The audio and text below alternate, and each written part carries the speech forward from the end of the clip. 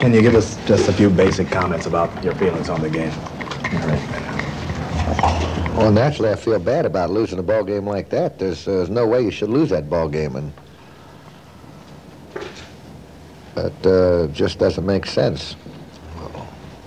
What's your opinion of Kingman's performance?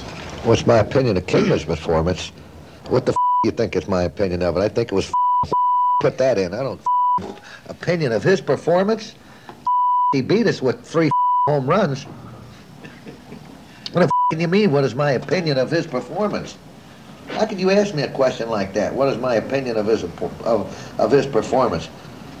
He hit three home runs. I'm off to lose the game, and you ask me my opinion of his performance. I mean, that's a tough question to ask me, isn't it? What is my opinion of his performance?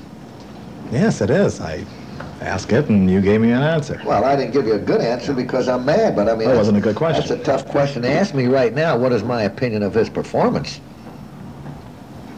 I mean, you want me to tell you what my opinion of his performance is? You just did. That's right. Guy hits three home runs against us.